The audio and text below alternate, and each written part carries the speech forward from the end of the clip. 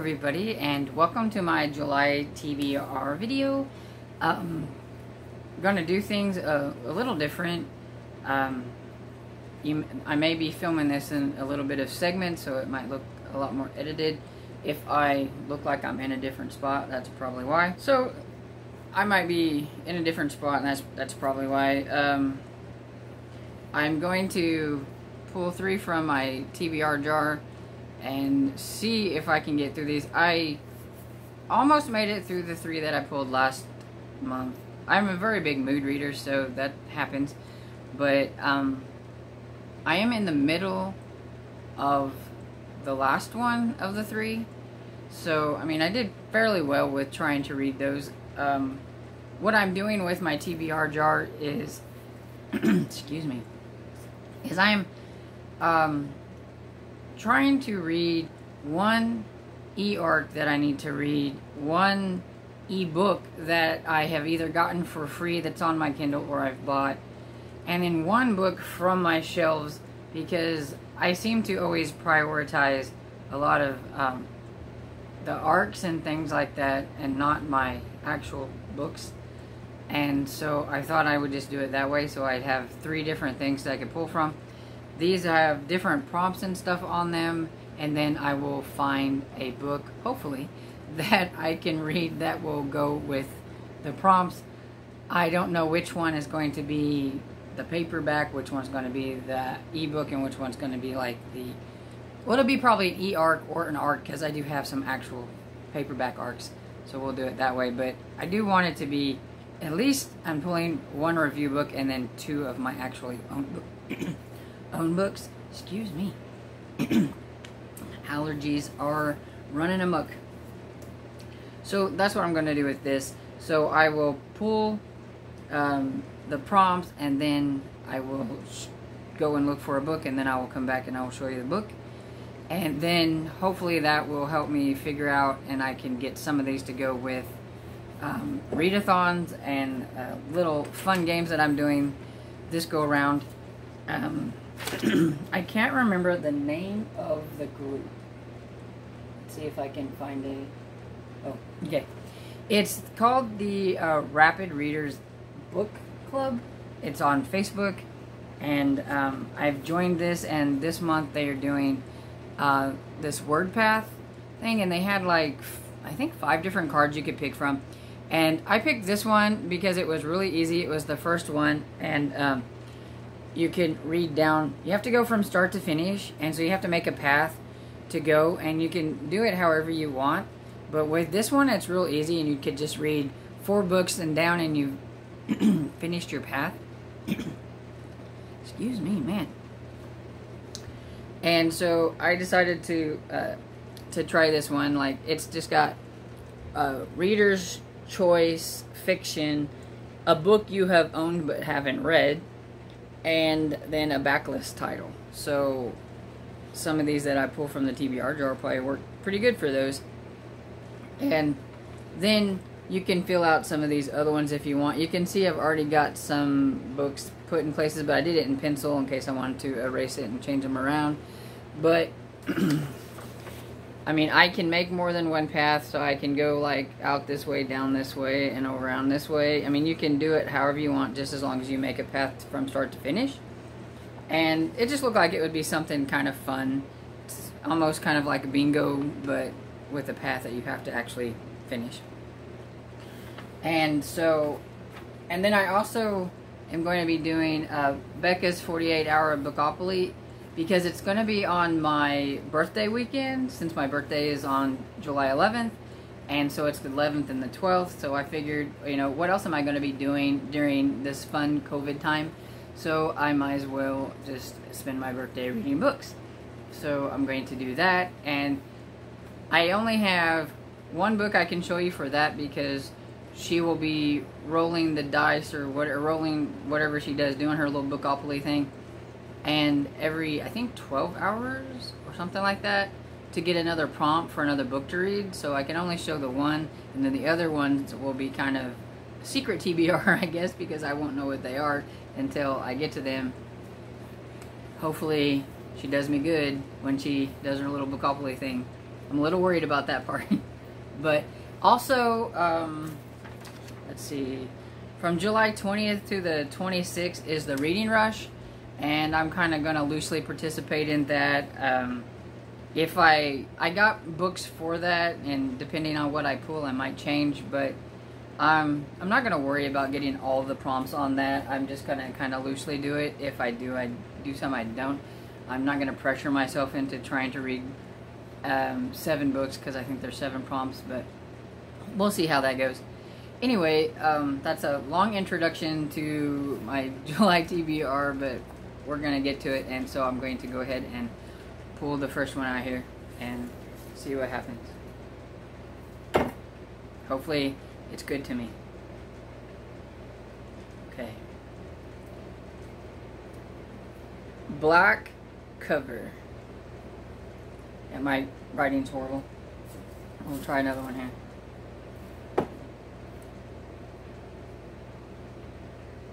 Oh, one with uh, people on the cover.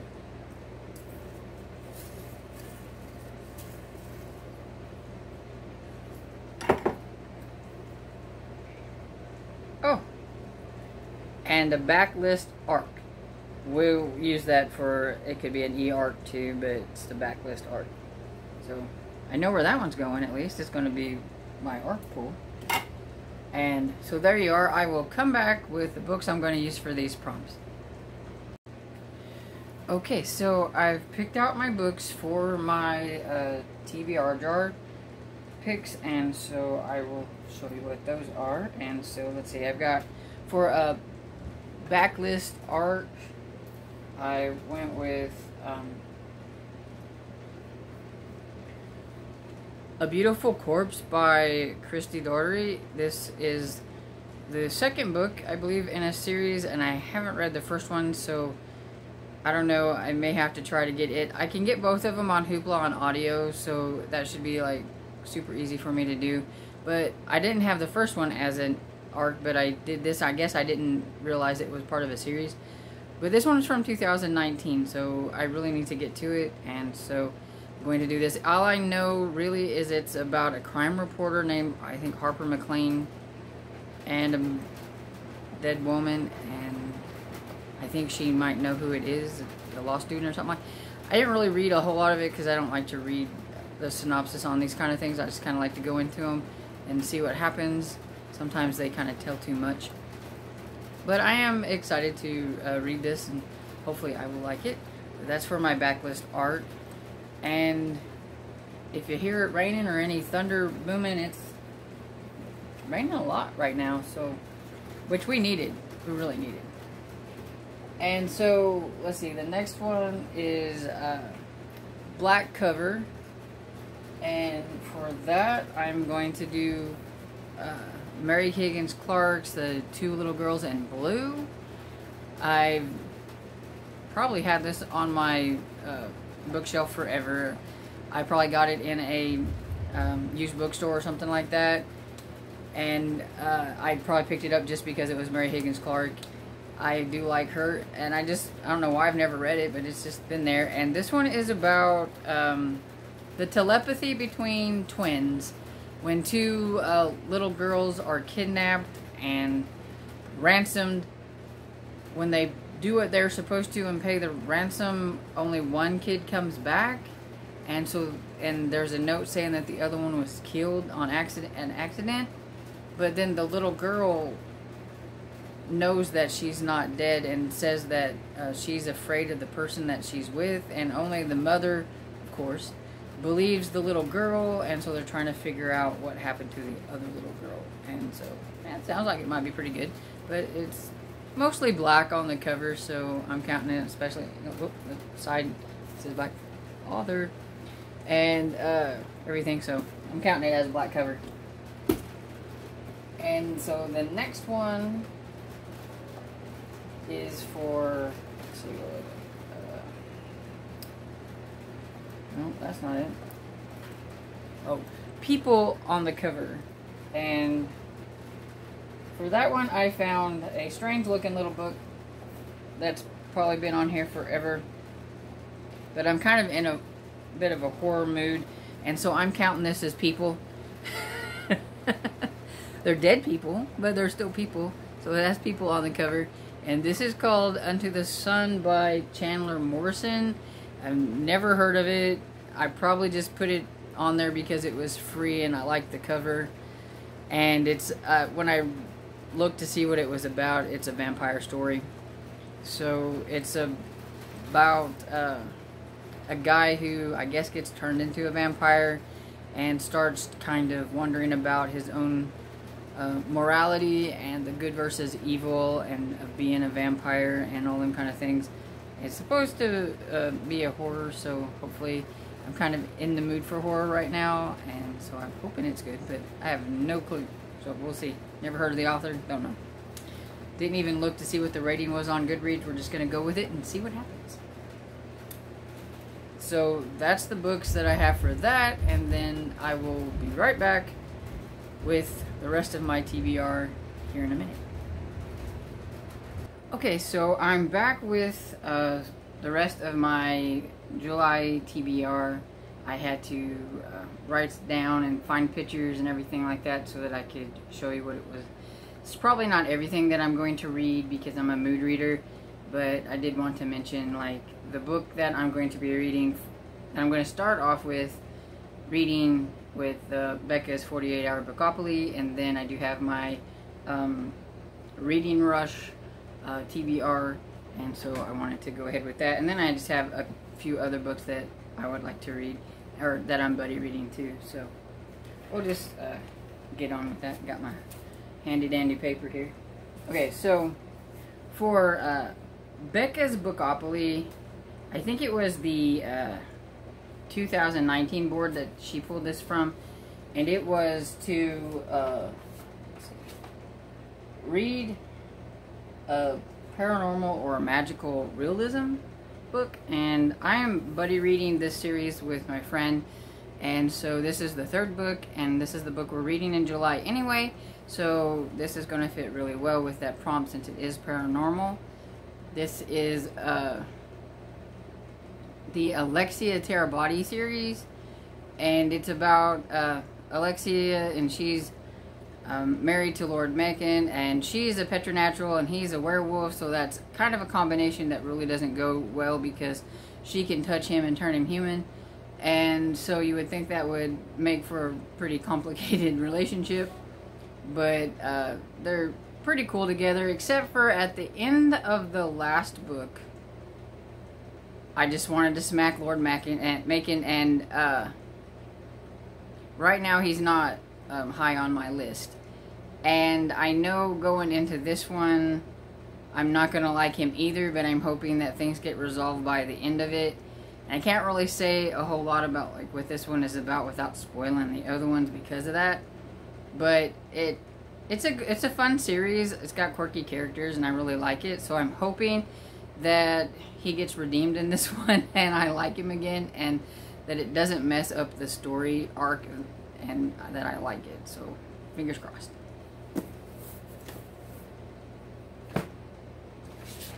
And then I've got the Reading Rush, which is from July 20th to the 26th. And uh, the first prompt is to read a book uh, with your birthstone. And like I said earlier, my birthday is in July. So it's Ruby. And so I am reading this. It looks oranger here than it does in person. It's really more of a red color. It just looks orange. But uh, this is Girl um, Unframed by Deb Caletti. And uh, it's not really something I normally read, and but I'm really hoping that I'm going to like it. I know it's about a girl who um, she discovers that her uh, mother, I think, is involved with somebody who's like dangerous or something, and how it affects like their life. It's contemporary. I don't do a whole lot of contemporary, but I'm kind of having hope, high hopes for this one, so I hope it don't let me down. And then the next one is to read a book that starts with the. I'm going to read um, The Vacation by Tim L. Logan. Sorry about that. Pretty bright cover. Anyway, I have no clue about what this is except for it's about, I think, a family on vacation and something happens. It's a thriller. I don't like to know too much about my thrillers. I read his first book, uh, Lies, and I really enjoyed it. I have the second one that he wrote, but I haven't read it yet. Shame on me. And so hopefully I'm going to like this one, and then I'll go back and get that other one that he's writ written. But yeah, this one is for the. Then the next one is to read a book that was inspired by a movie you've already seen. I had a hard time with this one. I couldn't really think of much, and then I just decided to go with Emma, which evidently I did not put a picture on my uh, Kindle, so maybe I can figure out how to put a picture here because I have new editing software. So hopefully it goes okay, but if not, I'm sure everybody knows what Emma by Jane Austen is, and I've uh, watched the movie a long time ago. I haven't watched the new one because, to be honest, uh, the Mr. Knightley from the like I think 1990s version or whatever is my Mr. Knightley, and nobody else will be able to do that. And so I haven't really cared to watch the new one. Maybe I will sometime, but uh, I've already watched it, and I'm due for a reread. I haven't read Emma in a long time, so I thought I could listen to the audiobook. And the audiobook is uh, narrated by Anna ben- Bentinck. So hopefully I like her audio narration. I don't know. And the next one is uh, read the first book you touch. And to be honest, I didn't plan anything for this one. Uh, read a book completely outside your house. So for that one, I picked a short, uh, cozy mystery called What a Meth by uh, Jamie Lee Scott. This is, I think, book four in the Gotcha Detective Agency mystery. And the audiobook is like almost four hours, three hours and 44 minutes, I believe. Anyway, and um, I don't know if I put down who was the narrator. Because I'm really bad with remembering that. Oh yeah, it's Todd Todd McLaren and Gabra Zackman. And I've listened to the other ones, but the other ones before this only had Gabra Zackman on it, so I guess they've decided to add a male to this. And um, I don't even remember what the characters' names are or anything. And I even looked it up before I did this, but anyway, I've read three of them, and it's a series that I need to finish, so I thought this would be a good time to do that. And I go for a walk in the morning, and then I also have a garden that I work in, water, and all that stuff, so I figured a short audiobook should be able to get me outside and get it read. Then the next one is read a book in the genre that okay that you want to read more of. And so I'm going to use this for that because I don't really read a lot of contemporary, but I have been um, asking for a few contemporaries, trying to see if I can get into it. I have kind of enjoyed what I've read, but I haven't uh, read any that has pushed above three stars. So I'm hoping that I'll have one. Maybe this will be it. I don't know. But yeah, that's for that. And then the last one is to read a book set in a different country.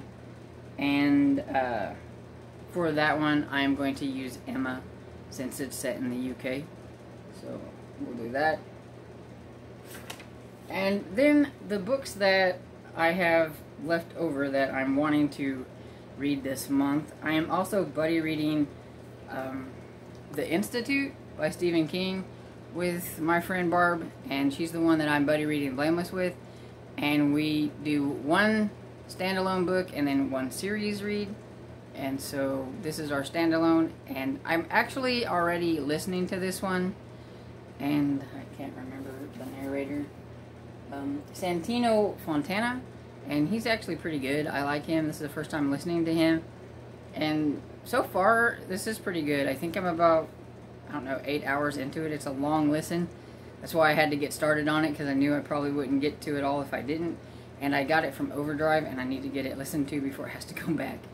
But I'm enjoying it. It's about uh, these kids who are being like kidnapped and sent to this institute. They have either uh, telepathy or something like that kind of deal that they call it TK or TP. And uh, it's not a real nice place. And it's about this kid, I think his name, it's either Luke or Lucas. Anyway, it's about him and how he's uh, trying to get out of this institute. And so far, it's been very good.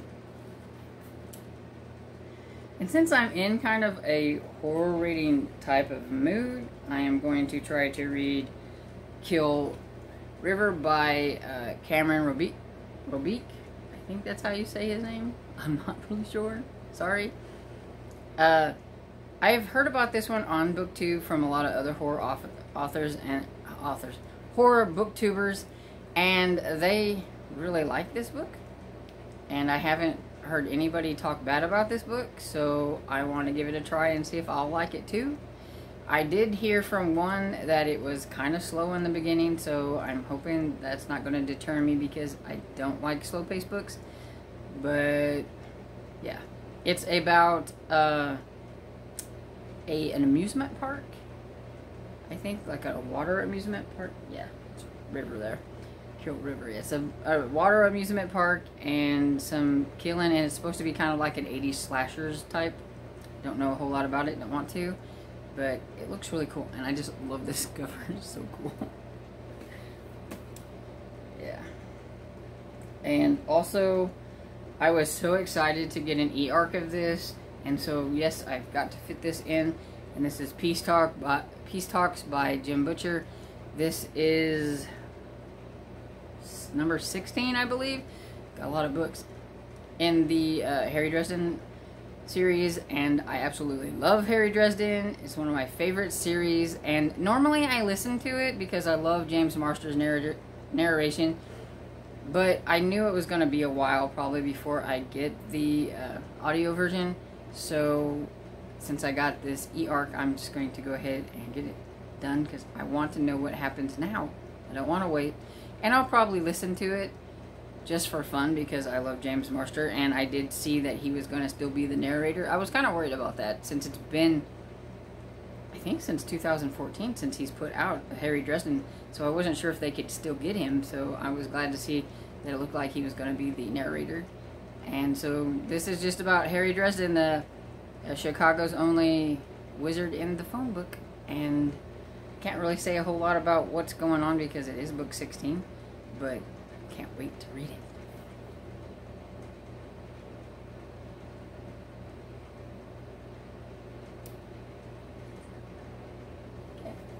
So I believe that's all of the books. I probably will read some more. That's only 11 books. I usually listen to a lot of audiobooks, and so I'll probably have a lot more of those, but I don't really know what I want to read. I want to leave a little bit of room for mood reading because I am a big mood reader. Also, there will be three other books, depending on if I can get to them during the uh, Becca's 48 hour Bookopoly. I probably won't be able to get to that many in 48 hours. I'm not that fast of a reader, but there are three more prompts, and we won't know what they are until she rolls the dice. And I get to pick one either from her 2000 her 2019 board or her 2020 board. So hopefully the board and her rolls are good to me. We'll see. Okay. But that's all I got for this uh, video. And so if you liked it, please give it a thumbs up and subscribe. And I'll see you all next time. Bye.